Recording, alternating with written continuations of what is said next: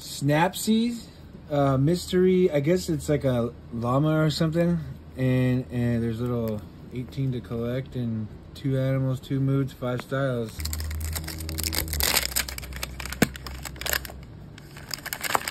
Uh, uh, I got the stickers bag. So it looks like we got um, a lawmade. I don't know. Oh, look, yeah.